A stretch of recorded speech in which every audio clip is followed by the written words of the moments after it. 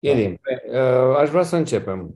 Da, hai să începem. Eu chiar vreau să te provoc să vorbești în seara asta. Adică vreau să explici, pentru că um, eu totuși cred că uh, timpul în care trăim e foarte special în comparație cu uh, anii anteriori. Uite, uh, și vreau să citesc un text în care spune așa, care uneori îmi dă de gândit, uh, care se găsește în Petru, a doua Petru. Înainte de toate să știți că în zilele din urmă vor veni bajlocoritori, plini de bajlocuri, care vor trăi după poftele lor și vor zice, unde este făgăduința venirii lui? Că de când au adormit părinții noștri, toate rămân așa cum erau de la începutul zidirii. Uneori mă văd și eu printre ei pentru că zic ce să vină, când să vină și chiar râd de cei care cred că o să vină. Și după aceea zic, spune că Domnul nu întârzie în împlinirea făgăduinței și că zile, ziua Domnului însă va veni ca un hoț uh, și pământul cu tot ce este pe el va arde. Iar um, acum n-are rost să citesc textele unde spune Isus că vor fi cu tremure, războaie, vești de războaie, ciumi și de toate. Însă eu cred că dintotdeauna a fost uh, ceea ce semnele alea, însă eu ceea ce văd acum este că diferența de la o generație la alta este atât uh, de mare diferența, adică străbunicii noștri, stră, stră, străbunicii noștri de la o generație la cealaltă, nu, nu erau multe schimbări. Acum, între părinții mei și noi, între mine și copiii mei, sunt foarte, foarte mari schimbări și nu știu unde ne îndreptăm. Și uh, mai ales că, uite, acum căldurile astea pe aici, prin, prin Spania și, pe, și prin America și pe tot cu încălzirea globală. Eu văd asta că ne apropiem de un sfârșit care uh, am putea să îl, uh, să-l punem pe aceeași, uh, uh, cum să zic, cu revenirea lui Isus, cu păgăduința că se va întoarce, să coincidă cu sfârșitul ăsta care parcă îl vedem. Uh, da, uh, Silviu, mai întâi aș vrea să spun, să comentez fraza de când au dormit părinții noștri, toate au rămas ca zilele facerii. Diferența între omul modern și omul tradițional este că omul tradițional își imaginează că lumea a fost totdeauna așa cum a fost pe vremea părinților săi. Și asta pentru că schimbările de la generație la alta erau minime, dacă erau. Da? Deci, într-un sat românesc, cineva trăia cum a trăit uh, părinții și părinții trăiau cum a trăit bunicul și bunicul cum a trăit străbunicul. Nu era nicio schimbare. Uh, lumea însă s-a schimbat de-a lungul istoriei. Nici, lumea n-a rămas ca în zilele facerii.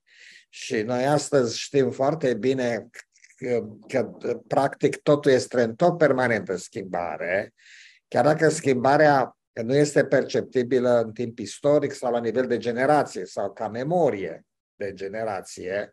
Schimbarea există. Modernitatea implică o accelerare a schimbării și această accelerare implică un stres permanent de adaptare. Deci e puțin spus că lumea nu mai e ca vremea părinților noștri. Lumea s-a schimbat de două sau trei ori radical în generația noastră. Și noi a trebuit să ne adaptăm. Uite, noi acum vorbim pe Zoom. Da? Uh, e, înainte de COVID nu exista Zoom-ul, existau teleconferințe, mă rog, pe internet, exista internetul, dar să uităm că uh, era internetului a început când eu eram deja la vârsta de, uh, trecusă de vârsta de mijloc, când a început era internetul și internetul a revoluționat lumea. Așa că aici argumentul lui Petru, de fapt, Uh, nu, nu, problema nu este bajocrători plini de bajocori care spun că toate au rămas ca la începutul lumii.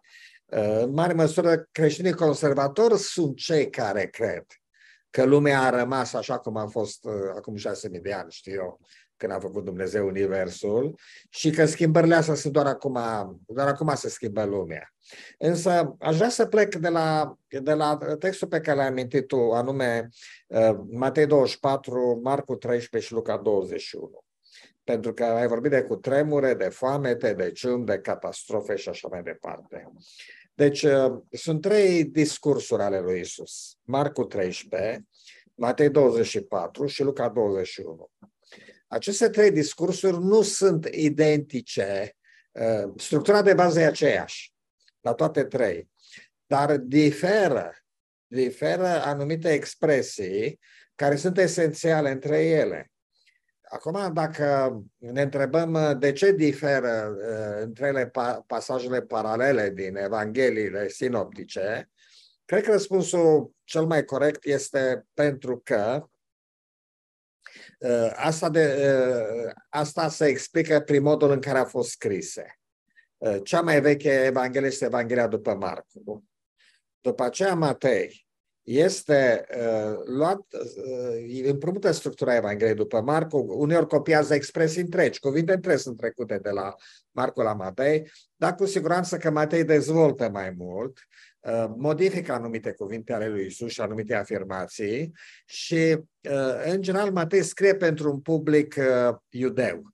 Asta este ceea ce îl caracterizează pe Madetei. El insistă asupra faptului că Isus, de exemplu, n-am venit să strige legea, ci să o împlinească, că Isus ne dă adevărata interpretare a legii, că Isus este noul Moise, ca să zic așa. Uh, Matei insistă foarte mult asupra acestui aspect. După aceea este Evanghelia uh, după Luca, care diferă de Marcu și de Matei. Uh, Luca scrie pentru neamuri și iarăși Luca adaugă lucruri care nu se găsesc în Matei și Marcu, dar în același timp nu are unele lucruri care se găsesc în Matei și Marcu. În același timp, în toate cele trei evanghelii sunt unele lucruri care apar în două evanghelii, dar n-apar în a treia și așa mai departe.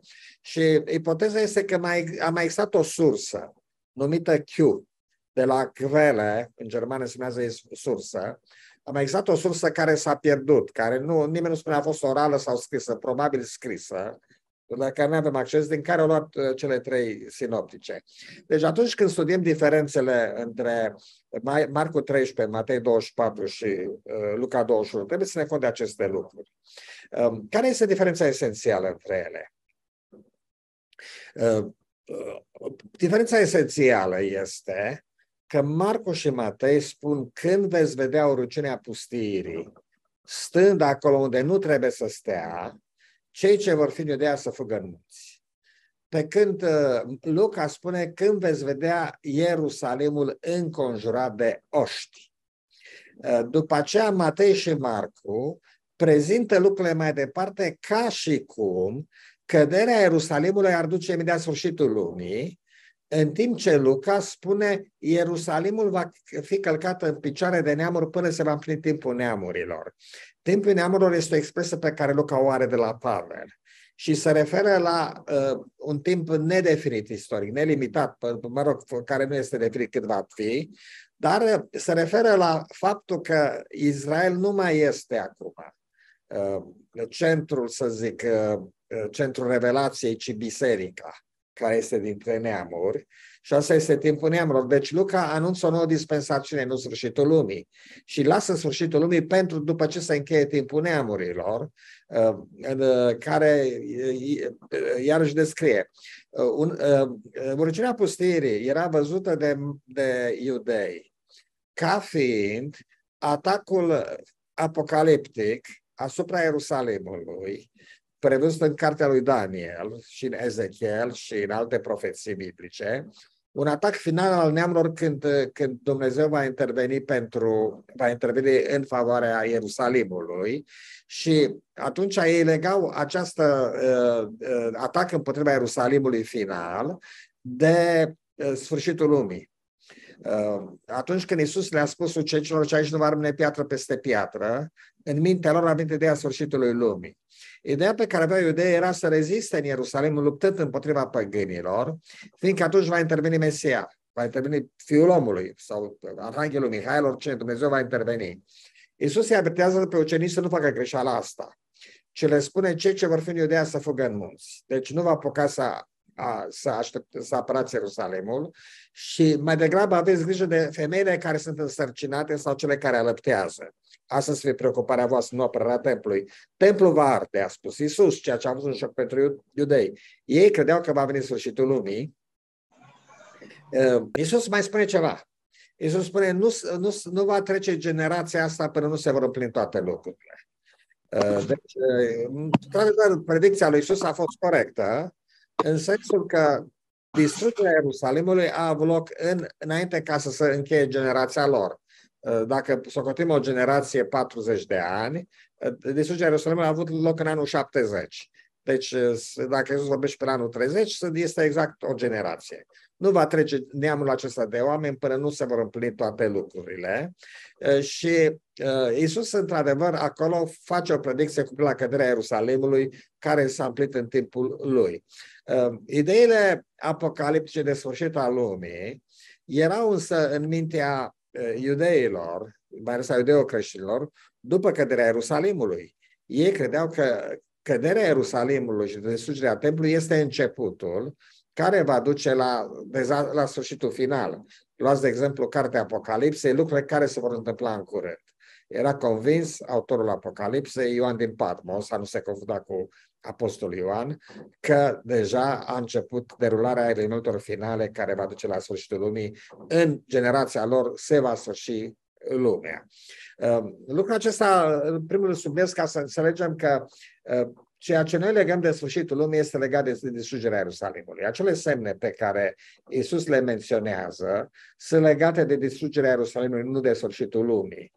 Ehm, Isus vorbește despre venirea Fiului Omului, dar sunt diferențe între cei trei evangeliști și probabil că oral s-a păstrat, trecuse deja o gen, Trecuse mai mult de 40 de ani de când Iisus a spus aceste cuvinte. Oamenii și le aminteau că le-au auzit de la alții care au spus, să nu uităm lucrul acesta. Dar ei trăiau sub impresia că în timpul lor va veni sfârșitul lumii. Erau convinși de acest lucru, mai puțin Luca. Dar ceilalți erau convinși că în timpul lor va fi sfârșitul lumii. Acum, hai să luăm ce spune Iisus totuși. Iisus spune, Matei 24, mi se pare că este cheia aici. Vor fi, uh, mă rog, uh, uh, Uh, un neam se va ridica împotriva altui neam, uh, o împărăție împotriva altei împărății, războaie și vești de războaie, pe alocurile vor fi cu tremure, pe foamete și ciumi. Ce spune Iisus mai departe? Vedeți să nu vă înspăimântați că sfârșitul nu va fi atunci. Uh, Iisus îi avertizează, de fapt, că sfârșitul, eschatonul, parusia, nu va fi atunci. Da? Uh, ei, uh, uh, ei așteptau ca sfârșitul să vină imediat după căderea Ierusalimului. Acum, noi am luat aceste cuvinte și deși Iisus ne-a avertizat că, sfârșit, că acestea nu sunt semnele sfârșitului, războaie, vești de războaie cu tremurile foame pe cium, noi le luăm ca și cum Iisus ne-ar fi spus că acestea sunt semnele sfârșitului. Care e problema cu aceste semnele ale sfârșitului? Ele au existat totdeauna. Nu a existat nicio perioadă din istoria omenirii să nu fie războaie și vești de războaie, o împărăție împotriva alte împărății, cu tremure, foamete și ciumi. Uh, mai mult, uh, ironic este faptul că noi trăim în cea mai lungă perioadă de pace din istoria omenirii acum. Și de câte ori apare un conflict militar, cum e cel din Ucraina, spunem, uite, Iisus a spus războaie și vești de războaie. Dar uităm că înainte nu exista perioadă fără război. Practic, uh, uh, bunicii noștri au făcut două războaie, au apucat două războaie. Părinții mei, generația au, fost, uh, au apucat războiul, dar bunicii au apucat două războaie. Au fost și alte războaie înainte. Fiecare generație mergea la război. Nu, nu era generație să nu vadă război înainte. Și războaiele erau mult mai rele decât sunt acum, pentru că acum, de bine de rău, există o comunitate internațională numită Națiunile Unite și orice, uh, orice națiune care pleacă la război este, trebuie să fie atentă să nu facă crime de război, să nu facă crime împotriva civililor, pentru că devine un paria Uh, mondială atunci, deși le face, dar le face mai pe ascuns, să zic. Înainte nu exista nicio astfel de restricție. Dar noi acum vedem în orice război sau orice cutremur, orice epidemie, sfârșitul lumii. Acum, aici este o altă problemă. Iisus i-a avertizat pe ucenici să nu fie speriați, să nu se teamă, să nu se înspăimânte și mai ales să nu pice în fanatism religios. Le-a spus, vor veni Hristos mincinoși, vor înșela pe mulți, nu vă duceți după ei, da?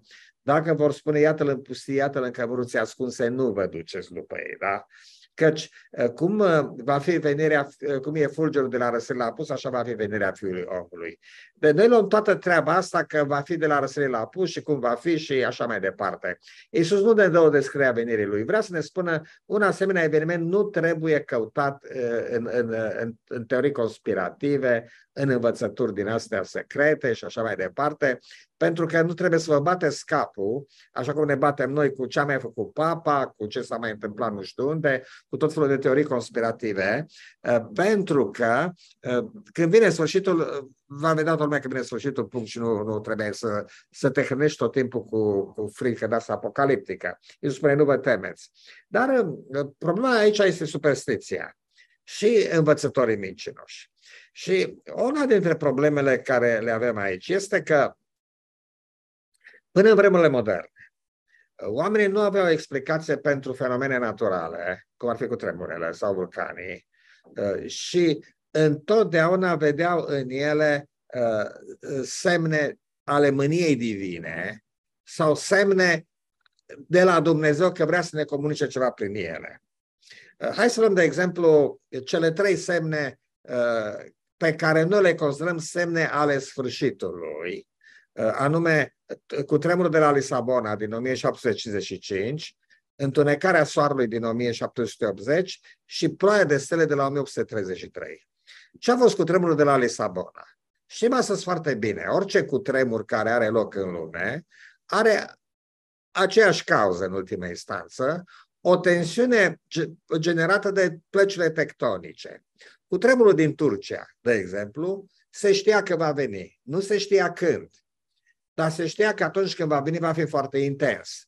Din cauza asta au fost foarte multe critici aduse la adresa, la adresa guvernului în Turcia, pentru că, deși știau că va fi un cutremur foarte sever, au construit așa cum au construit. Acum, de unde se știa că cutremurul care va urma va fi foarte sever? Pentru că cu cât este distanța mai mare între două cutremure, cu atâta presiunea tectonică este mai mare. Și pentru că trecuse de nu mai știu câte decenii de la ultimul cutremur în Turcia, se știa că cutremurul care va urma va fi sever. Dar explicația cutremurului e destul de clară și e suficient să ne uităm pe, să căutăm pe Google și vedem foarte bine că uh, zona aia în Anatolia este prinsă între trei plăci tectonice uh, și se creează o tensiune care atunci când se detensionează, creează un cutremur. Cutremurul de la Lisabona a avut o, o, aceeași cauză. Da? A fost o tensiune generată de plăcile tectonice, mă rog, între Africa și Europa, care s-a detensionat brusc. Va mai avea loc un astfel de cutremur? Cu siguranță că da, va mai fi un astfel de cutremur, numai că nu este situația ca în Turcia sau ca în România, unde iar la câteva decenii e un cutremur. Cutremurile sunt mult mai rare. Sau în Italia iar sunt mult mai rare. Însă, ă, așa cum am spus, există o explicație naturală de ce a avut loc cu tremur de la Lisabona în 1755. Ă, nu de ce a avut-o în 1755, da? Dar explicația naturală este că tensiunea acumulată de părțile tectonice s-a descărcat atunci. Întunecarea de soare, 1780. Dacă citim în Marea Luptă și descărcări care o fac pionierii adveniți, vede că au fost foarte puternic impresionați de de întunecarea de soare. Interesant este că în același an a avut loc un cutremur puternic în America, care a mutat albia fluviului Mississippi cu o milă, uh, deci 1600 de kilometri. Uh, nu, uh, nu, 160, 1 km 600 de metri, 1,6 km. Deci a mutat albia fluviului Mississippi cu mai mult de un kilometru. Vă dați seama ce cutremur a fost ăsta. Dar el n-a avut loc, cutremurul n-a avut loc într-o zonă populată. Vestul nu era populat atunci. Și oamenii l-au observat. Așa că ăsta n-a fost un semn apocaliptic. Dar a fost mare semn apocaliptic întunecarea soarelui din 1780. Ce a fost întunecarea soarelui? Asta se cunoaște cauza. În, uh, în 1780 uh, a avut loc un incendiu puternic în Canada, uh, iarăși Canada era destul de pustie, dar asta se știe, mă rog, investigând pădurea, uh, urmele, vezi că acolo toată pădurea a ars și fumul a întunecat soarele, uh, s-a urcat sus de tot până în stratosferă și a întunecat soarele uh, pentru o zi și normal că uh, noaptea luna s-a văzut roșie ca sângele, era roșie luna din cauza uh, din cauza uh, funinginii din atmosferă. Uh, dar în istoria omenirii au fost situații mai dramatice de întunecarea soarelui, când au explodat vulcan puternici și soarele a fost întunecat uh, săptămâni, ani de zile chiar. Au fost extinții în masă. A fost ceea ce numim iarnă nucleară astăzi. În cazul unui război nuclear, uh, vom avea o întunecare de soare care va dura uh, cel puțin un an de zile, dacă nu doi sau trei, sau chiar mai mult. Și asta va duce la o iarnă nucleară pe toată suprafața planetei și extinții în masă. Deci nu este prima întunecare de soare care a avut loc și nu este nici ultima. Um, luăm 1833. Uh, a avut loc căderea de stele.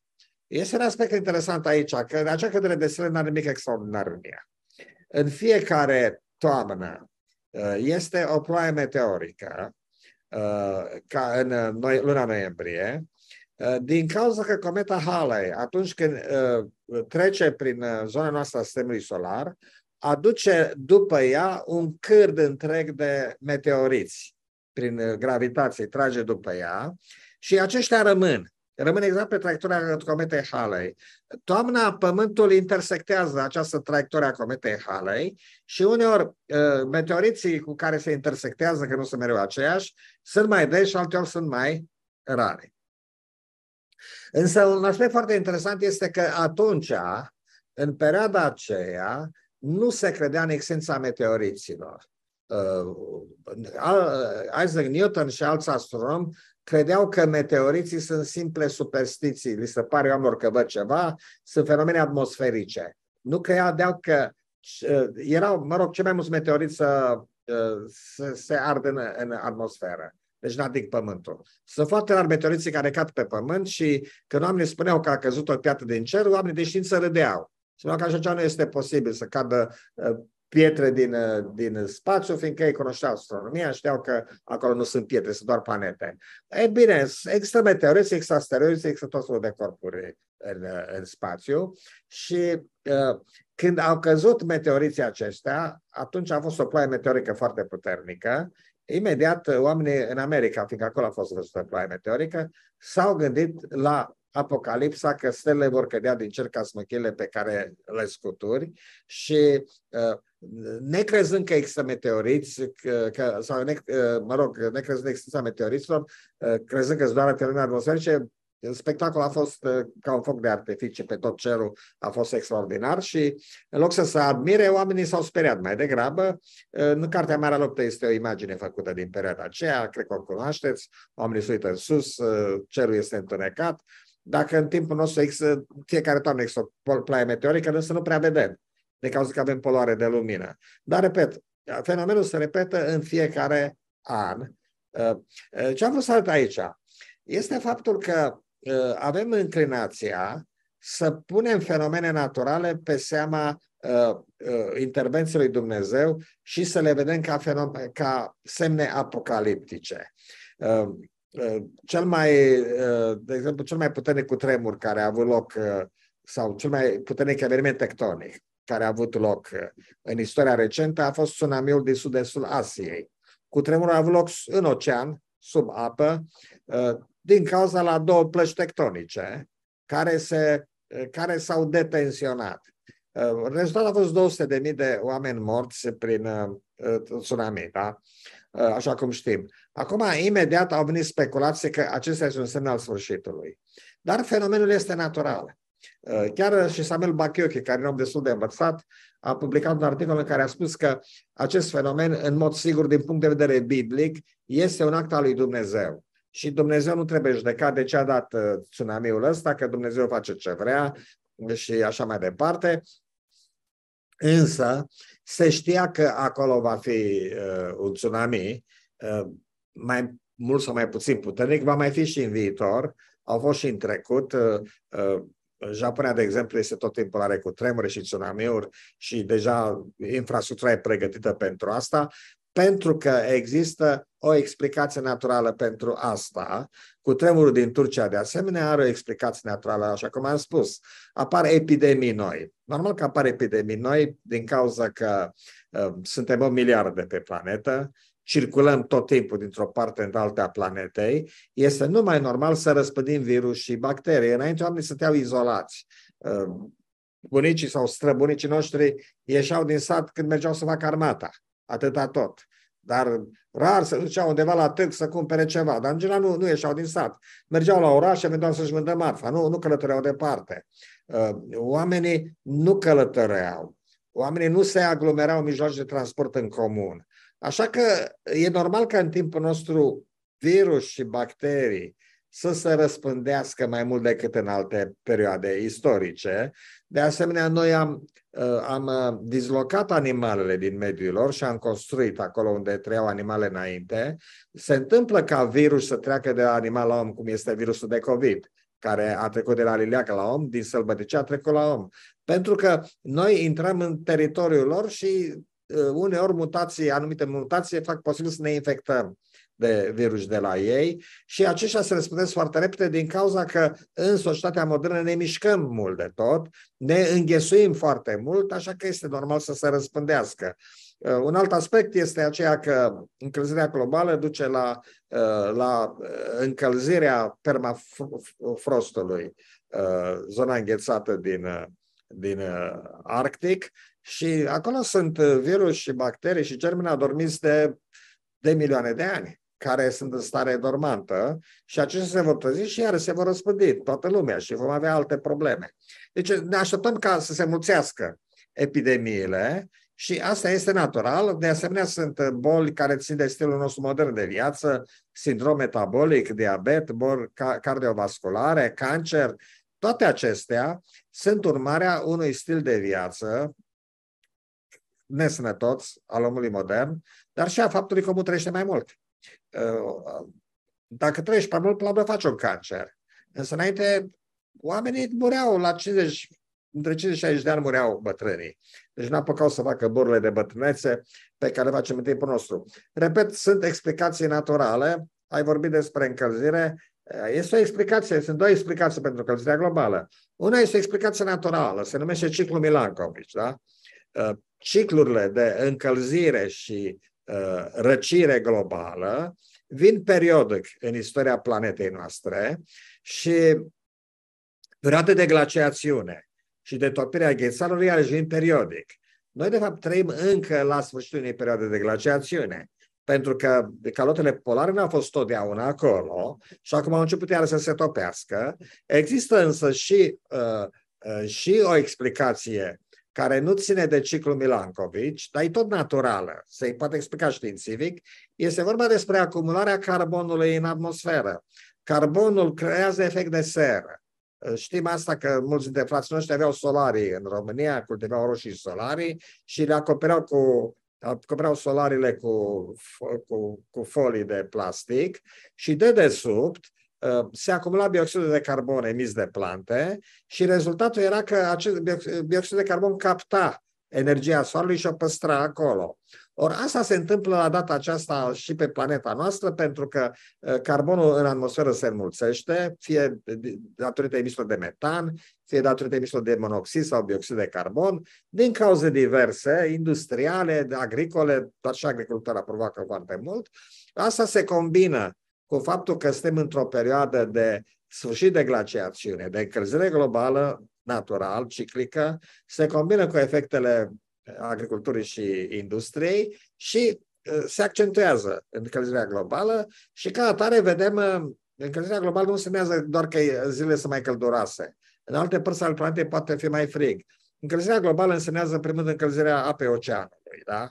Încălzirea apei oceanului face ca violența Uh, uh, uh, taifunurilor și a tornedourilor și a huricanelor să crească. Este normal, fiindcă cu cât se evaporă mai multă apă din ocean, cu atâta presiunea este mai puternică în atmosferă și furtunile sunt mai violente. Așa că furtunile sunt tot mai des și tot mai violente. Voi nu aveți acolo în Spania, noi avem în fiecare an avem furtuni foarte violente în America care fac distrugeri, distrugeri inclusiv vieți omenești, fac distrugeri care costă miliarde de dolari. Și violența lor crește din cauza încălzirii globale, nu sunt un semnal sfârșitului, repet, da? Uh, de asemenea, vremea devine impredictibilă din același motiv, fiindcă se schimbă și curenții de apă, se schimbă modelul în care atmosfera funcționa până acum și totul devine impredictibil. Pentru toate astea există să explicații naturale, sau dacă vreți explicații științifice, explicații care țin de fizică, de meteorologie, de geologie, de plăcile tectonice. Pentru toate există explicații și uh, Uh, explicațiile uh, sunt raționale și logice și asta face ca omul să nu se teamă, să nu vadă acolo o apocalipsă. La fel și problemele sociale pe care le trăim. Uh, societatea a trecut prin transformări foarte rapide. Industrie, mai mult, revoluția industrială, apoi a fost revoluția post-industrială, revoluția digitală, populația s-a înmulțit foarte mult. Oamenii au început să aibă pretenții mai mari, înainte nu aveau pretenții, să mulțumeau cu ce aveau, acum vor mai mult, să trăiască bine, toți vor să trăiască bine, toți vor să aibă parte de confort, sunt foarte multe conflicte politice din cauza asta, foarte multe nemulțumiri. Toate astea se explică logic. Lumea se schimbă foarte rapid și un tren care merge tot mai repede te tem că o să deraeze. Poate o să deraeze, eu nu zic nu. Dar ce vreau să spun este că noi nu trebuie să vedem nici în cutremure, nici în încălzirea globală, nici în COVID, nici în Ebola, nici în alte boli, nici în uh, SIDA, în AIDS, nu trebuie să vedem semne ale sfârșitului, ci uh, să vedem uh, uh, ceva ce se poate explica în relația de la cauză la efect. Uh, uh, faptul că lumea se schimbă i-a făcut totdeauna pe oameni să că au avut o schimbare, lumea să spune că acum vine sfârșitul lumii. Pentru că ei au crezut, cum spune și Petru, că din zilele facerii, lume, de când au dormit părinții noștri, lumea a rămas ca în zilele facerii. Eu țin minte, vorbeam cu un bătrân lipovean din Delta Dunării, nenea Policarp. Uh, avea 70 de ani omul și uh, mă ducea cu barca prin Delta Dunării și era un, un vas de ăsta de turiști vest germani și bineînțeles că femeile erau un pantalon. Ce vrei, erau un delta, le mâncau țânțare și tăune dacă purtau pantaloni. Și Policarp și uite, vezi, vine sfârșitul lumii. Uite, femeia a ajuns să umble în pantaloni. Are la cineva la noi în sat o carte în care scrie așa, când vei vedea femeia umblând în pantalon, să știi că sfârșitul lumii este aproape. Da? Pentru el, faptul că femeia purta pantaloni spunea sfârșitul lumii. Când s-a întâmplat, spunea el vreodată, ca femeia să poarte pantaloni? Păi s-a mai întâmplat că în preistorie femeia purta pantaloni, mai ales în partea nordică. Purtau pantaloni femeile. Nu era, și în alte părți ale au purtat mereu pantaloni. Nu era nimic nou, dar pentru el, de la începutul lumii până astăzi, femeia n-a purtat pantaloni și acum uite că poartă pantaloni și vine sfârșitul lumii. Deci, noi când vedem schimbări în, în jurul nostru, spune că va fi sfârșitul lumii. Cine a învățat Isus? Hai să vedem cine a învățat Isus. Primul lucru, nu vă spăimântați. Doi, nu cădeți în fanatism. Le-a spus ucenicilor, nu stați să apărați Ierusalimul, lăsați-l să fie dărâmat. Într-adevăr, ceva s-a sfârșit. O lume se sfârșise. Luca spune corect. Începe timpul neamurilor. S-a încheiat uh, rolul istoric în uh, mântuire, în istoria mântuirii al Ierusalimului și al poporului iudeu. Asta este istorie, da?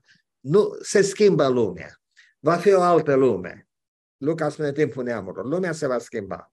Lumea aceasta în care trezei va trece într-o generație și va fi o altă lume. Uh, ocupați-vă de femeile care alăptează și care uh, sunt gravide. Ocupați-vă adică de generația viitoare. Uh, gândiți-vă la copii, gândiți-vă la generația viitoare, pentru că, totuși, de ce să se ocupe de femeile care alăptează, care sunt gravide?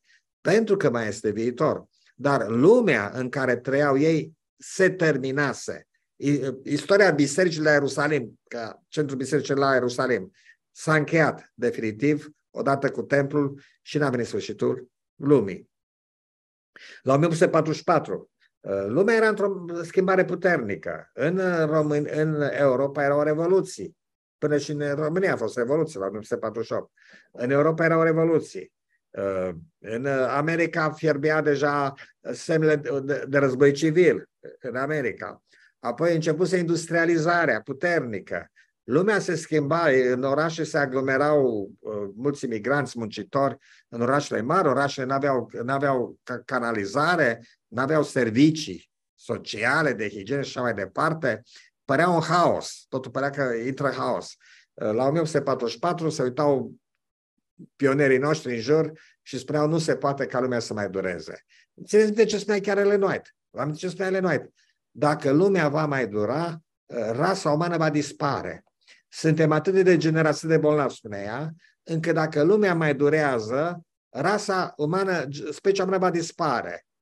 Am ajuns să fim o miliarde de, de, de locuitori. Gândiți-vă la aspectul foametei. Foamete, da? Totdeauna oamenii au avut perioade de foamete. Dar realizăm că suntem o miliarde și nu ne ducem la culcare flămânzi. Când a fost vreodată uh, omenirea capabilă să hrănească o miliarde de, de guri? Și și da, uite, acolo este foamete undeva în Africa. De obicei, foametele acestea sunt din cauza, cu toată efectul încălzirii globale, aș vrea să spun, în primul rând din cauza incompetenței politicienilor și a corupției politice. Dar, deși încălzirea globală contribuie la secetă, totuși, la data aceasta, încă uh, agricultura modernă produce, produce hrană pentru o miliarde, ceea ce înainte era de neconceput. Da? Era de neconceput ca Pământul să suporte o miliarde de locuitori și care o duc mai bine decât oricând în istoria omenirii. Lucrurile acestea noi nu, noi nu le vedem. Așa că ă, ce va fi în viitor nu știm. Ă, cert este că și noi trebuie o perioadă de sfârșit a lumii. Ă, structurile sociale prezente nu mai pot dura mult, fiindcă nu mai funcționează și va fi undeva o ruptură și contractul social se va rearanja. Da? Nu știm cum va evolua războiul din Ucraina, dar dacă va duce la un, să zic, la un război nuclear, cu siguranță că va urma o nouă ordine internațională în care dreptul națiunilor de a face război va fi, va fi uh, puternic limitat, dacă nu chiar interzis de un organism internațional. Uh, încălzirea globală, iarăși, duce la niște schimbări tehnologice, să mai depindem de petrol, să facem energie uh, verde, etc., etc. Uh, anumite lucruri se vor schimba profund în viitor și nu spun că va fi în bine sau în rău. Lumea se va schimba în continuare și nu trebuie de fiecare dată când vine, când vedem o schimbare, să spunem sau o catastrofă că vine sfârșitul lumii. Uh, noi, de fapt, nu suntem... Uh, Iisus, când ucenicii l-au întrebat, uh, acum ai de gând să așezi iar împărția lui Israel, Iisus a spus, nu-i treaba voastră să cunoașteți vremurile și soracele. Punct. Nu-i treaba noastră să ne ocupăm de când vine sfârșitul lumii sau cum vine sfârșitul lumii. Noi avem o misiune și când spun misiune, nu înțelegem că misiunea noastră este să mergem acum să batem la fiecare ușă, să dăm invitații la evangelizare uh, și uh, să, să predicăm uh, sfârșitul lumii sau sabatul la toată lumea. Nu asta e misiunea. În calitate de creștin ai o misiune, ai o angajare civică față de societate, față de semeni. Ca și creștin ai o angajare față de semenii tăi și asta e misiunea ta. Începe din familie, prieteni și se lărgește până la capătul lumii, nu? Dar uh, să nu cădem în capcanele pe care Iisus le-a arătat clar în Matei 24 și se pare că tocmai în alea ne băgăm piciorul de fiecare dată. Mai întâi vedem peste tot semnele sfârșitului, pe urmă cădem în tot felul de teorii conspirative, superstiții, uh, tot felul de de fanatism religios, vine un tip, spune, vine sfârșitul lumii peste șase luni, vine decretul duminical, imediat sărim în sus, apare pe Facebook ceva, pac, uite, decretul duminical, că papa a spus nu știu ce, iarăși imediat să agită toată blogosfera adventistă, se agită cam la, de două ori pe an, că vine decretul duminical. Și de când sunt eu mic, tot aud că vine decretul duminical și n-a venit, da? Și nici nu va veni. Uh, s-ar putea să trăim în viitor într-o limitare strictă a libertăților noastre civile și s-ar putea să nu trăim într-o asemenea situație, nu știu. Dar uh, mă, mă îndoiesc că va exista un decret dominical vreodată în lumea noastră, globalizată, care funcționează șapte zile de câte 24 de ore pe tot globul. Mă îndoiesc că vom vedea noi un decret dominical în, pe planeta noastră. Așadar, cam asta este concluzia. semnele sfârșitului sunt în mintea noastră, da? Sau explicația naturală și nu înseamnă necredință, să ai mintea deschisă, să înțelegi cum funcționează lumea și să înțelegi că un cutremur se întâmplă dintr-un anumit motiv, o, o, temperatura crește și este tot mai impredictibilă vremea dintr-un anumit motiv, probleme sociale au un anumit motiv, problemele epidemiologice de sănătate au un anumit motiv, toate acestea pot fi explicate logic, nu trebuie să vezi neapărat semne ale apocalipsului. Mulțumesc că am încheiat. Cred că sunt convins de ceea ce spui. Însă nu știu dacă ai, ai, ai vorbit despre lucrul ăsta, și anume că uh, Petru zice, unde este făgăduința venirii lui? Și ce înțeleg eu este că Petru a înțeles că o să fie o venire. E o făgăduință, e o promisiune. Uh, a lăsat Iisus cumva să înțeleagă că se va întoarce. Acum, uitând de semne și de... Le-am înțeles, toate sunt uh, cauze naturale. Dar, până la urmă, am putea să-l așteptăm, trebuie să-l așteptăm, să ne gândim că o să vină da, Silviu, însă noi când ne gândim la venirea lui Iisus, ne gândim la scenariul nostru.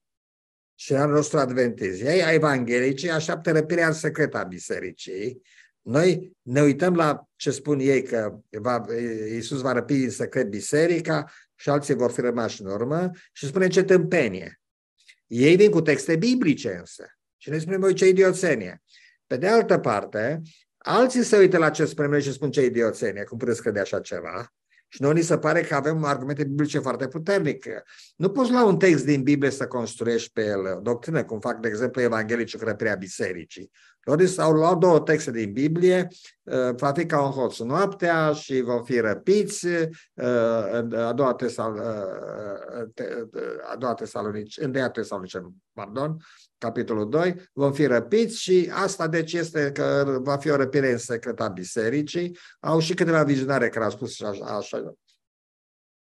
Un lucru care Iisus l-a spus, de exemplu, este nu-i treaba voastră să cunoașteți vremurile și soroacele, da? Ce spune Petru acum? Nu poți să iei niciun text din Petru, din a doua Petru, să construiești pe el doctrină, că mă duc eu la a doua Petru, capitolul 3 și vorbesc despre duhurile din închisoare că Iisus după ce a murit s-a dus în iad și a predicat duhurilor răzvrătite pe vremea lui Noe. Nu?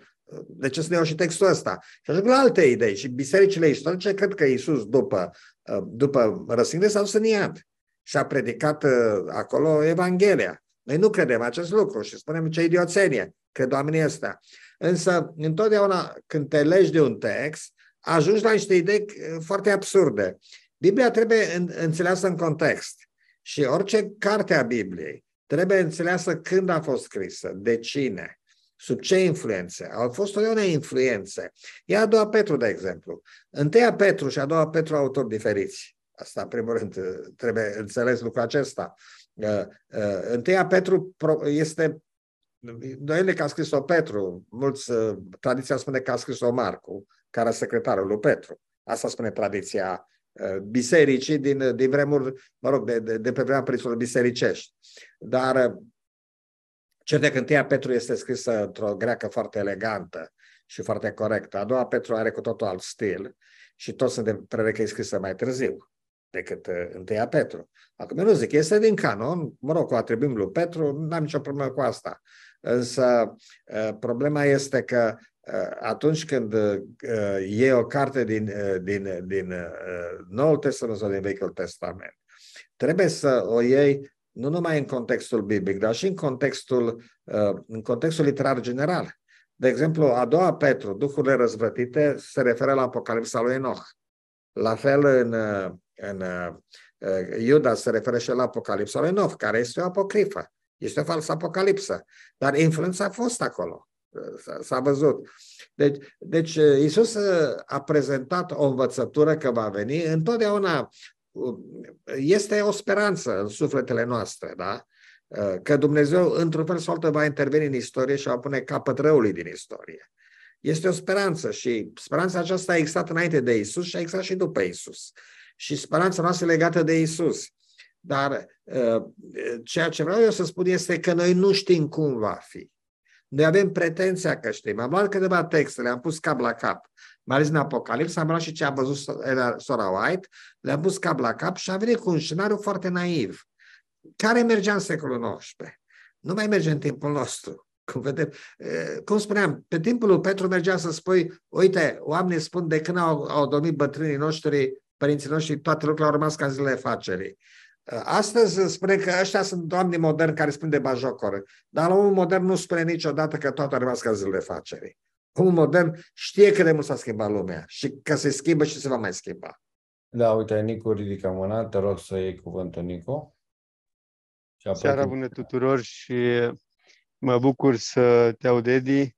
Uh, după câte stau și ascult uh, și întrebarea lui Silviu, uh, ceea ce ne spui, Edi, este ca și pe vremea lui Ioan Botezătorul, înainte să-i taie Irod cap. Îl întreabă, să-l mai așteptăm? E el? Adică, mai așteptăm să vină Hristos sau așteptăm să ne ia capul înainte lumea care va veni. Da, interesant. Uh, întrebarea lui Iisus, tu ești așa sau așteptăm pe altul? Și Iisus i-a spus, spuneți lui Ioan, ucenicilor lui Ioan, uh, orbi sunt vindecați, uh, săracilor să predică Evanghelia, mă rog, oamenii flămânzi erau, erau hrăniți și spune, ferice de cine nu va găsi o pricină de politică în mine. Ce aștepta Ioan? Ioan aștepta sfârșitul lumii. Sau mai precis, aștepta uh, era mesianică în care uh, Iisus, uh, Mesia, să facă curățenie în societate, să pună capăt și lui și mă rog, copilul lui Rod, de cu micile lor regate, să pună capăt preoției corupție, fariseilor ipocriți, aristocrației, Imperiului Roman să elibereze pe iudei de Imperiul Roman, să restabilească împărăția lui Israel. Ioan nu înțelegea mai mult decât atât. Iisus i-a zis, ferice cine nu, nu va găsi în mine o pricină de potignire. Adică de ce o pricină de potignire? Pentru că ceea ce făcea Iisus nu corespundea cu eschatologia lui Ioan Botezătorul. Asta e problema. Uh, la fel când ucenicii l-au întrebat, acum ai de gând să reașezi împărăția lui Israel? Ei așteptau același lucru. Iisus i-a zis, nu-i treaba voastră să cunoașteți vremurile și soroacele. Uh, așa că îl iau și pe, pe Pavel, care spune nimeni să nu spună că sfârșitul a și venit, da? Să spună că sfârșitul a și venit. Oamenii spuneau deja că a venit sfârșitul lumii în, în generația lui Pavel. Nu va veni până nu va fi, mă rog, omul nelegirii, fiul pierzării, mai este mult uh, până atunci. Uh, uh, ce se întâmplă? Noi nu trebuie să avem pretenția că cunoaștem metodele lui Dumnezeu. Niciodată nicio generație pe baza profeției n-a putut anticipa viitorul. Ioan Botezătorul, cel mai mare profet uh, al vechii dispensațiuni, da?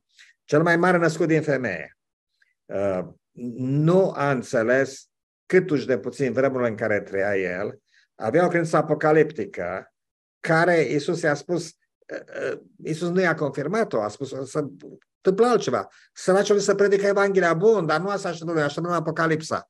Nu, Uh, zice, ferice cine nu va găsi mine o pricină după o tihnire, a spus Iisus. Punct. N-am venit să aduc apocalipsa. Uh, uh, ucenicii așteptau și ei o intervenție apocaliptică. Iisus nu le-a spus nici da, nici nu a zis, nu-i treaba voastră să cunoașteți aceste lucruri. Voi aveți o misiune, trebuie să vă împliniți misiunea. Deci, ceea ce văd eu este că întotdeauna, dacă ei, profețiile Vechiului Testament, lucrurile nu s-au împlinit așa cum aștepta oamenii să împlinească și mai ales noi dacă am citit aceste profeții fără nicio prejudecată teologică, am așteptat altceva decât așteptăm acum. Însă, așa cum am spus, viitorul este imprevizibil. Iisus, de exemplu, spune, astea nu cunoaște nici Fiul, nici Îngerii, ci numai Tatăl. Iisus spune ziua și ceasul și așa mai departe. Și din cauza asta, eu cred, eu nu vreau să potignesc pe nimeni. Dar problema este că dacă uh, noi continuăm uh, într-o credință apocaliptică simplistă și naivă, tot mai mulți își vor pierde credința. Pentru că este normal să-și o piardă. Fiindcă nu pentru că, vai, să nu ne pierdem răbdarea, că au trecut deja aproape, curând se vor face două secole de la apariția uh, Bisericii Adventiste, mai avem doar vreo, cât, vreo 20 de ani până atunci, până la, vom avea două secole de la 1844 și să nu ne pierdem răbdarea, să tot aș- să așteptăm, să așteptăm, să așteptăm, să se împlinească ce știm că trebuie să împlinească. Adevărul este că oamenii nu că își pierd răbdarea. Toate aceste predicții își pierd credibilitatea. Când eram eu tânăr, aveam o schemă foarte, foarte uh, clară în minte, cu evenimentele finale, ce va fi, când va fi, care va fi succesiunea lor și așa mai departe. Și uh, astăzi nu mai pot accepta această schemă foarte naivă, pentru că îmi dau seama că ea corespunde unui tablou al lumii pe care uh, oamenii îl aveau acum 150-160 uh, de ani, dar nu mai, nu mai este deloc uh, valid. Și pe măsură ce se schimbă lumea, noi ne schimbăm tabloul despre lume, ne reformulăm așteptările apocaliptice. Însă, cum va pune Dumnezeu capăt răul în istorie? Cum va aduce Dumnezeu dreptatea veșnică, noi nu știm. Trebuie să înțelegem. Ceea ce învățăm noi la lecțiune trimestrul ăsta este un nonsens total. Noi nu știm cum va fi, da? Și noi știm ce avem de făcut, care e datoria noastră, dar nu știm cum va fi, pentru că niciodată omul nu a putut anticipa viitorul. Uite, să dau un exemplu. Bătrânii noștri așteptau ca Turcia să schimbă capitala la Ierusalim. Astăzi zâmbim. Dar atunci era certitudine, așa va fi și atunci vine Armagedonul. Astăzi deja zâmbim și am spiritualizat Armagedonul uh, ca să salvăm oarecum uh, ce se putea salva de vechea interpretare. Însă uh, ar fi mai corect să recunoaștem că nu știm cum va fi sfârșitul și să ne concentrăm asupra datoriei pe care o avem de făcut. Chiar și Petru spune în textul citat de Pavel că la Dumnezeu zi este ca o mie de ani. Atunci, hai să lăsăm, uh, dacă ne, ne, ne referim în timpul lui Dumnezeu, uh, la Dumnezeu zi poate fi și un milion de ani și un trilion de ani până la urmă. Uh, Edi, dacă îmi dai voie, scuze-mă un pic, cred eu că în ceea ce privește biserica, cel puțin din punctul de vedere pe care îl văd eu, și nu venind dintr-o biserică adventistă, adică venind de afară, din lume, cum spuneam noi în felul acesta. Eu cred că se întâmplă lucrul ăsta astăzi pentru că deja am intrat în disperarea aia de nu mai vine. Uh, vedem că pe zi ce trece lumea uh, nu mai are răbdare, adică lumea noastră mă refer în ceea ce privește lucrul ăsta și deja uh, bisericile încep să rămână din ce în ce mai goale. Exact. În momentul în care cunoaștem situația, zicem noi, lumina, cu alte cuvinte, mulți o cunosc, zic, nu, nu, stai puțin că ceea ce ni s-a spus atunci era altceva, ceea ce spunea Ellen White la fel. Și eu văd vizibil uh, că bisericile din ce în ce rămân mai goale și începem să nu mai credem nici măcar în Biblie, nu vorbim de biserică. Mulțumesc. Nicule, credem în Biblie, numai că mesajul adventist este irrelevant. De-aia biserici rămân goale și numai mesajul adventist. Și alte biserici rămân goale. În America e cea mai creștină țară din vest, în mod clar, uh, mai creștin chiar decât românii și în America este o scădere biserici se închid, dar nu se deschid biserici noi, ca să spun. Și asta mă refer la toate denominațiunile. Nu, da. Bisericile istorice în vest sunt muzee de acum. Mai uh, catolici, ca, mai creștini ca și spaniolii, unde trăim noi și Silviu știe și vedem bisericile goale, nu vorbim de ale noastre ca, ca și credință, dar eu am fost în foarte, foarte multe biserici catolice și exact cum spui, sunt decât muzee de vizitat. Dar, Nicu, să nu confundăm faptul că oamenii nu mai cred în dogmele bisericii sau în doctrine cu lipsa credinței. Asta este o problemă. Doctrinele unei biserici sunt făcute de oameni, doctrinele adventiste sunt făcute de oameni ca și dogmele catolice. Toate astea le-au făcut oamenii și acestea vin și trec. Pe timpul lui Isus, ucenicii credeau, pe dacă se dărâmă templu, dacă arde templu, ce mai poți aștepta decât sfârșitul lumii? Nu, ei nu puteau să conceapă că iudaismul are un sfârșit și creștinismul va avea un sfârșit. Adventismul, noi ne, ne legăm cu ideea asta, adventismul ultima biserică și ca atare, dacă vedem semnele cernerii sau mai știu ce apostazie, vedem noi biserica adventistă, gata, trebuie să vină Domnul, că noi suntem ultima biserică. Nu suntem ultima biserică și creștinismul poate să fie urmat de altceva care să nu fie ceea ce înțelegem noi prin creștinism. Învățătura lui Isus poate să fie dusă mai departe într-un mod în care noi astăzi nu, uh, nu-l concepem, așa cum iudeii nu concepeau că uh, învățătura lui iudaică va fi preluată de neamuri și Biblia va ajunge a neamurilor și vor duce mai departe. Eu zic să nu facem programul lui Dumnezeu, Să nu spunem, păi trebuie să se întâmple, fiindcă văd asta în jurul meu. Noi vedem ce vedem în jurul nostru cu, o, cu vederi foarte limitate. Uh, suntem limitați. Noi nu avem, să fiu foarte clar, noi nu avem tot adevărul. Noi credem că suntem biserica care are tot adevărul. Nu avem tot adevărul, da? Și nu avem toată lumina. Lumina crește. În toată istoria omenirii, orizontul, concepția despre Dumnezeu s-a schimbat. Noi nu-L vedem pe Dumnezeu cum îl vedeau oamenii în timpurile Vechiului Testament. Nu-L vedem nici cum îl vedeau în evul mediu creștinii pe Dumnezeu astăzi. Ne-am schimbat concepțiile și oamenii își vor schimba concepțiile și în viitor. Deci, uh, dacă lumea nu mai merge la biserică, nu înseamnă că și-a pierdut credința, dar primii creștini nu mergeau la biserică, să nu uităm. Primii creștini nu aveau dogme, dar nu mergeau la biserică, se duceau la sinagogă și până se adunau în casele lor sau pe malul râului. Nici nu aveau treabă cu biserica și uh, nu aveau nici dogme măcar. Uh, erau, uh, erau foarte vederi foarte diverse, opinii foarte diverse cu privire la lucruri care acum le considerăm bătute în cuie. Ehm, așa că nu, mă, nu m-aș grăbi să spun, vai, nu, nu, nu mai există credință, pentru că oamenii nu mai cred niște învățături care nu mai sunt relevante. Problema care mă îngrijorează pe mine nu este că, vai, o să dispară credința, că uite să golezi biserici și trebuie să ne Domnul. Nu. Ce văd aici este că biserica și-a pierdut relevanța, nu mai are nimic de spus. Normal că bisericile rămân goale, rămân bătrânii care care stau acolo și nu, nu văd nimic mai mult în viitor, zic de-ar veni Domnul mai curând, da? Dar vorbești cu noua generație, ei nu zic, ok, s-a sfârșit lumea. Acum că nu mai merge lumea la biserică, să nu punem limite lui Dumnezeu, spun eu. Noi nu știm, noi nu știm datoria noastră care avem astăzi, aici și acum. Dar viitorul trebuie lăsat pe seama lui Dumnezeu, nu e așa ce programul lui Dumnezeu. Ieri, uite, Cristian vrea să întrebe și el ceva, ridica mâna. Ehm, bună seara tuturor!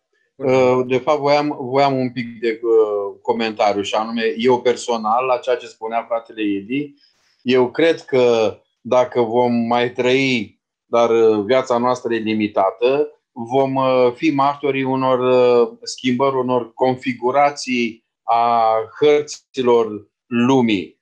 Dacă ne uităm astăzi pe hărțile lumii fizico-geografice, da? vedem că undeva în trecut au fost drumul mătăsii, drumul vinului, pe undeva aproape de uh, cercul polar de nord sau uh, și eu cred că odată pe Marea Hansa, au Marea Hansa a fost, Marea Hansa. Da, da, și undeva pe acolo au trecut uh, uh, caravane cu mătăsuri, cu chestia. Dar nu cred că au fost ierderile acelea veșnice și înghețuri și deci s-a configurat s-au configurat hărțile și în viitor este posibil ca acolo unde până acum au fost zăpeți veșnice, Pol, Polul Nord, de exemplu, sau uh, zone din continente, unde astăzi e uscat, în viitor poate că vor fi mări, oceane și unde uh, astăzi sunt oceane, poate vor apare insule și așa mai departe. Că nu, nu știm în viitor, dar chestia, uh, ideea e că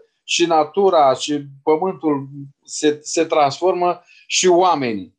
În ceea ce privește Len White, eu cred că este, a fost și este, rămâne profet, pentru că rolul unui profet nu este numai de a profetiza lucruri care se vor întâmpla în viitor, ci de a vedea clar lucrurile și a le da o interpretare corectă a evenimentelor și lucrurilor care se întâmplă în prezent.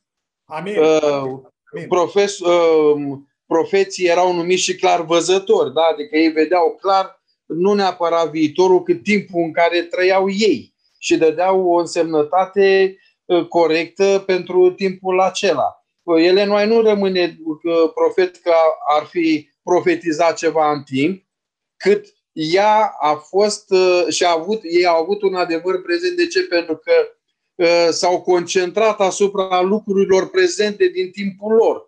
Și așa au înțeles ei. La timpul ăla, ei nu sunt de condamnat că au văzut uh, schimbarea capitalei uh, Turcia, nu știu, sau a Ierusalim. Așa au înțeles ei cu Iurea Schmidt, cu... Ok. Problema este la noi astăzi că am devenit o biserică sectă. Adică ne-am închis ca și farisei într-un clopot. Noi suntem mai cei mai de preț de pe pământ noi, la noi, noi suntem buricul pământului ca adventiști și uh, văzându-ne așa, văzându-ne așa, noi nu, uh, nu mai avem habar de problemele reale ale lumii. Ne plângem pe noi, noi nu mai suntem răbdători, noi avem nu știu ce doctrine care bisericile rămân goale, noi, adică uh, uitați-vă și, și acum, în timpul ăsta, adică ce uh, adevăr prezent mai are biserica de spus omenirii. Și știți de ce? Da. Pentru că închizându-ne în clopotul ăsta, uh, noi suntem uh, absorbiți numai de problemele noastre, nu, nu de ale. Uh, noi nu mai avem nimic de spus. Uh, de frica probabil a persecuțiilor, de frica nu știu cărei sigilări, se învârte papa, nu are omul voie să dea, scuzați expresia, un pârs, că toți adventiștii se duc și îl analizează și pe papă și tot. Adică, scuzați, dar nu este scopul bisericii.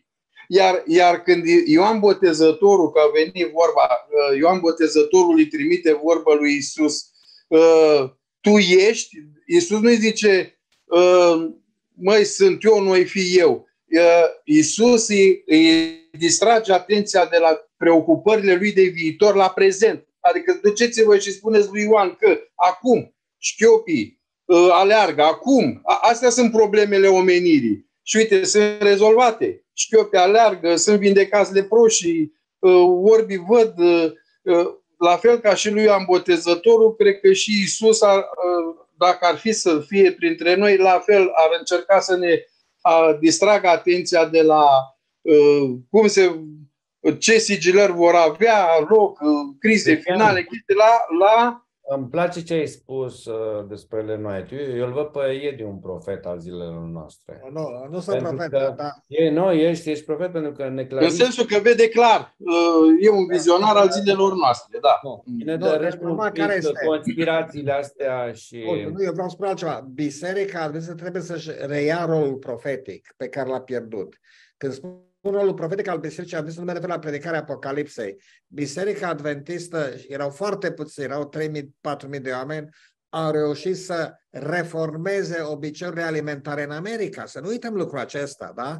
Deci, la timpul lor, au reușit să, să au, au avut un program atât de bine organizat că au reușit să creeze o reformă sanitară în America, în, într-o singură generație. Să nu uităm că Biserica Adventistă a fost foarte activă împotriva sclaviei. Uh, și după aceea a fost activă împotriva segregației ras, uh, rasiale și rasismului. Uh, Biserica Adventistă a avut un cuvânt profetic de spus. Asta este, mi-a părut foarte, foarte multă ideea asta. Deci, uh, uh, uh, profeții, rolul profeților nu a fost acest profeți apocaliptici. Să nu uităm că singurele cărți apocalipse din Biblie sunt Daniel și Apocalipsa. De o întreagă literatură apocaliptică în perioada de, din secolul 2 înainte de Hristos până secolul 1 și uh, au fost singure. Însă rolul profeților, profeții în sens biblic, a fost să fie reformatori. Și nu au fost doar reformatori religioși, au fost și reformatori sociali. Ei totdeauna spre uite săracul, uite de dreptate, uite violența și nu numai pentru Ierusalim, dar uite-te, citești Isaia, Ieremia, trimiteau mesaje la alte popoare, Edomul, Egiptul, Asiria, cum a făcut Iona, de exemplu, mesaje de reformă. Iona a fost un profet. Ce a făcut Iona? Uh, Apocalipsa lui Iona nu s-a împlinit, dar Iona, ca profet, a fost un reformator și a fost un proces ca și Ioan Botezătorul, a fost un reformator. Noi trebuie să ne recăpătăm uh, suflul profetic, dar ne rămân bisericile goale. Când te văd eu, Edi, aici profet, faptul că încerc să, să ne fac să, să acceptăm teoriile științifice și realitatea științifică, nu? de toate descoperirile științifice care uh, dărâmă un pic miturile care sunt în, în Bun, da. Eu nu vreau ca cineva să aibă încredere oarbă în știință, dar aș vrea să spun că adventismul de ziua șaptea s-a deosebit de alte biserici prin faptul că a acceptat știința, n-a avut o viziune mistică asupra realității. Eu discutam la uh, Sibiu cu băieți foarte, foarte bine pregătiți, mai bine pregătiți decât seminariștii noștri de la Facultatea de Teologie Ortodoxă. Și uh, asta uh, îi arătam, domne, voi într-adevăr sunteți uh, clar, teologia voastră, mă rog, școala voastră de teologie nu se compara cu prăpădul nostru seminar care l-am făcut eu. Însă, În esență, zic, teologia noastră este mistică. Adventismul este rațional, este practic și noi am, am avut totdeauna o deschidere spre știință. Eu nu, nu vin acum cu o chestie nouă. Da. Asta ne-a învățat noi până la urmă, nu? Legile naturii sunt legile lui Dumnezeu, deci studiați legile naturii, în măsura în care le înțelegi, am înțeles ceva din legile lui Dumnezeu.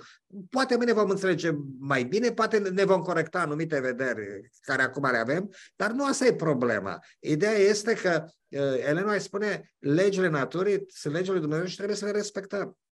Okay. Frate Edi, cum, cum poate biserica să redevină uh, profetul zilelor noastre când dacă te duci în biserică, oricine dintre noi, și atrage bisericii atenția despre o nevoie a lumii pe care o are lumea astăzi, sâmbătă viitoare vei auzi, dar toți pastorii sunt așa, predici cu uh, stați la spărtură, întoarceți-vă la cărările vechi. Ce, da. ce viziune de viitor și, de, și nu numai de viitor, de prezent, poate să existe într-o biserică a cărei conducători uh, predică când nici Pavel, pe timpul lui, spunea nu mă întorc, mă, nene, m-am, mă merg înainte și am ochii ațintiți înainte, nu... Exact, da. Uite, am, am, am, am ascultat un, un clip uh, săptămâna asta, un interviu luat unui pastor evanghelic, Southern Baptist, nu era Adventist, era baptist de sud, da? Cea mai puternică denominațiune protestantă atunci sunt baptiști de sud. Bun. Și el spunea așa, în interviul lui, noi în biserică și noastre, zice, am avut o atmosferă plăcută, am pus un accent foarte puternic pe dezvoltarea caracterului personal, pe dezvoltarea caracterului, mă rog, am avut, dar, zice, am fost închiși, practic. Noi n-am avut o angajare civică față de lume și rezultatul este, pentru că îl întreba uh, uh, gazda de talk show, îl întreba uh, de ce este uh, ce dezastru care e acum lumea evanghelică în America, adică radicalizarea politică a evanghelicerilor americani, asta este problema, teorii conspirative absurde, de ce toată chestia asta, zice? Și, nu, intenția n-a fost rea. Noi am pus mult accent pe dezvoltarea caracterului, pe sfințirea vieții, lucruri bune, zice, însă noi am stat izolați și vorbesc de o biserică de 30 de milioane, nu vorbesc de biserică adventistă, da? O biserică 30 de milioane, foarte puternică, am stat izolați de lume și din cauza asta, acum, mesajul nostru e atât de derupt de realitate, încât oamenii cad în tot felul de extreme, se radicalizează sau pur și simplu spun ei, părăsesc biserica și caută altceva. Da, Edi, uite, eu aș vrea să închem uh, tema din seara asta, dar nu înainte, eu îl văd aici pe uh, Cristi Dobra. Cristi, ești cumva uh, în fața camerei? Pentru că astăzi tu mi-ai propus o temă pentru data viitoare și eu am încercat să i-o spun lui Edi, dar n-a reușit. Hai să spună uh, Da, sunt aici, sunt aici. Trebuie să vorbim data viitoare, pentru că aș vrea să te invit ca împreună cu Edi să dialogați pe tema și să-i spunem de acum, ca să aibă timp să pregătească. Da, stai puțin să văd cum pun asta pe orizontală, că tot sunteți orizontali. Așa. Că te văd orizontal. Adică vertical, mai precis, dar, uh, mă rog, lumea nu e răsturnată. Da. Uh, Edi, uh, uh, mi-ar place să discutăm, dacă ești de acord, despre ideea de post-adevăr, uh, da. ideea de postmodernism și post-adevăr. Uh, într-unele din emisiunile tale, chiar tu ai fost uh, acuzat de postmodern, pentru că uh, ai relativizat multe lucruri care înainte le considerai într-un fel, uh, acum le-ai lăsat așa mai light. Și uh, cu toții trăim în, în era asta în care practic nu mai există niciun adevăr concret. Și mi-ar plăcea să discutăm un pic despre ah, cum da, s-a da. ajuns da. la era post-adevăr și cam cum poți să-ți găsești nordul într-o uh, astfel de curent, în care uh, nu mai e un curent într-un sens, în toate direcțiile posibile și dacă merită să încercăm să direcționăm uh, curentul într-un anumit sens spre un adevăr sau fiecare să își găsească adevărul lui. Cam, cam asta era ideea mea. Da, da, nu, și într-adevăr sunt în mod categoric împotriva la fiecare adevărului personal, da? și în niciun caz nu, nu sunt un relativist epistemologic sau morală. Niciun caz nu sunt asta. Da? Deci uh, uh, sunt lucruri relative și lucruri absolute în, în lume Și noi absolutizăm ceea ce e relativ. Eu am, Edi, nu, nu vreau să răspunzi Dar, acum. Hai, nu, subiectul merită dezbătut și l-aș invita pe Cristian să avem un dialog, ar fi foarte, foarte productiv, cred. Super. Uh-huh. Păi, atunci asta va fi subiectul data viitoare. Vă așteptăm vineri seara viitoare. Vă doresc sabat fericit și să nu uităm de făgăduință. Da, bun. Da, Bună! Uite, mi-a, mi-a Bună, Bună! Da. Bună! Tu stai în uh, spatele lui Edi, nu? Nu, i-am venit acum la sfârșit. Da. da, bine, bine, mult. Stai să, să nu mai puțin. Da, da, da, da, ok, bun. Am venit să mă întreb dacă să facă pilaf. Să facă. La mine Mulțumim frumos, frate. ok. Bun, Bine. mulțumesc mult, atunci mă duc și eu. Bine, mă duc că mă așteaptă pilaful. La revedere. Deci ne vedem la viitoare cu problema foarte, foarte importantă problemă. Da, bun, la revedere. La revedere.